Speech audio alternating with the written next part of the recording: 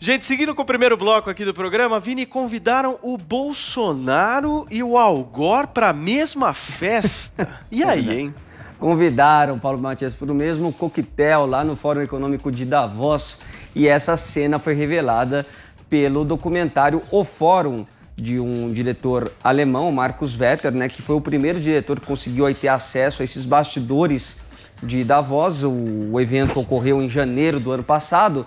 Ele mostrou ali um trechinho de um minuto de uma conversa entre o presidente Jair Bolsonaro com o ex-vice-presidente dos Estados Unidos, importante nome também da causa ambiental, um, um defensor da causa ambiental, o Al Gore. E o encontro Paulo Matias, esse diálogo teve algumas saias justas. Primeiro, que o Algor já chega dizendo ao Bolsonaro que era muito amigo do Alfredo Sirquis, ex-parlamentar brasileiro, ex-deputado federal, que inclusive morreu num acidente de carro esse ano. Ele também era um defensor da causa ambiental. E aí, logo de cara, o Bolsonaro já fala que o Sirquis foi um inimigo dele na época da luta armada. Depois ele emenda dizendo que a história dos militares no Brasil, essa história recente, foi uma história muito mal contada. E depois que o Algor revela também a preocupação dele com a Amazônia, porque é um tema que toca muito profundamente a ele, o presidente Jair Bolsonaro disse que gostaria de explorar as riquezas da Amazônia junto com os Estados Unidos. E o Algor meio que não entende o que o Bolsonaro estava querendo falar ali. Vamos ver essa cena na íntegra agora. I'm a good friend with Alfredo Circus. Sou um grande amigo, bem próximo de Alfredo Circus. Alfredo Circus? Ah. Circus. Circus. Lá atrás fui inimigo do Sirkis na luta armada. Way back I was an enemy vis-à-vis Sirkis in the armed struggle. Oh, I didn't know that. Não sabia disso. So I brought up the wrong person. Então eu trouxe. Eu sou o capitão do mencionei a exército. pessoa errada. Não, não, não, não tem didn't. problema. Don't worry, not a problem. I am a former É, a army história recém-passada no Brasil dos militares foi muito mal contada. A verdade sempre aparece. You know we're all deeply concerned about the Amazon, and I uh, am sorry to raise this issue with lamento you in an trazer essa questão, meeting, but I care passionately about it. informal, mas é algo que me toca profundamente. A Amazônia não pode ser esquecida. The Amazon cannot possibly be forgotten or sidelined at all. Temos muitas riquezas.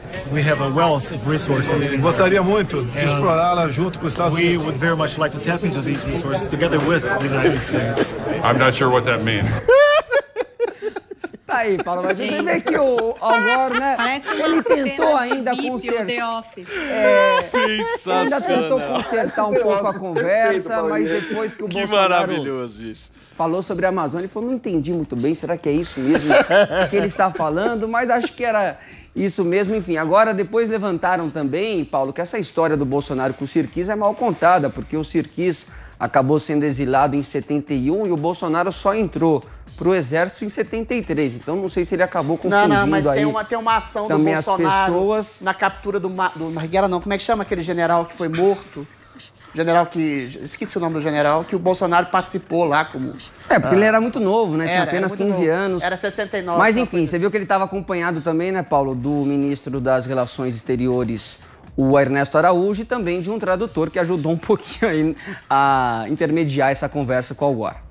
Muito bem, Adrilho Jorge, a. Amazônia pode ser explorada pelos Estados Unidos. Você tem exatamente 30 segundos. Pode, desde que a Amazônia, é, que os Estados Unidos entrem com a mão de obra de exploração e a gente entre com a oferição dos lucros que seriam advindos à população pobre da Amazônia, que todo mundo quer um naco da Amazônia, mas o solo riquíssimo lá deveria ah, ser canalizado a sua exploração para a população pobre da Amazônia, que tem um dos piores IDHs do mundo. Né? O Bolsonaro tem uma grande sabedoria que é a seguinte: admitir a própria ignorância dele em certos assuntos, como economia, segurança pública, ele delegou para Paulo Guedes, antes para o Sérgio Moro. Oxalá ele delegue a sua ignorância a quem entende realmente da exploração do meio ambiente. Oxalá você falasse em Amazônia, 30 segundos. Como o nosso querido general Mourão, vice-presidente, que está cuidando bem da Amazônia.